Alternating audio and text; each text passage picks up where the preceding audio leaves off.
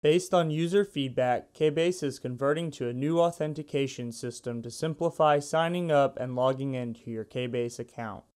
When you go to the KBase sign-in page, you'll see some changes. If you already have a KBase account, you will now need to sign in using Globus and go through a short conversion process to convert your account to the new system. After clicking Sign In, select the Sign In with Globus option. Since you already have a KBase account, use your KBase username and password to log in.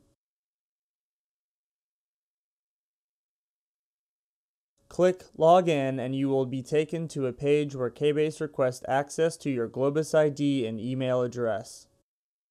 Click the blue Allow button. We won't share your email or personal information with anyone. You must now agree to the KBase User Agreement and KBase Data Policy. The language of the user agreement and data policy have not changed since you last agreed to them. This is only a reconfirmation required by the new authentication process.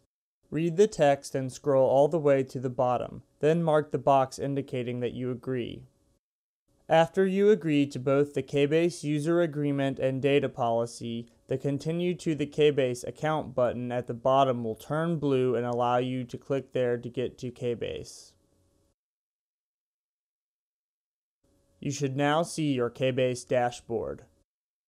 The next time you sign into KBase, you won't have to go through all of these steps. You'll select Sign in with Globus and log in normally. If you have any questions, use the Contact Us link in the video description. Thanks for watching.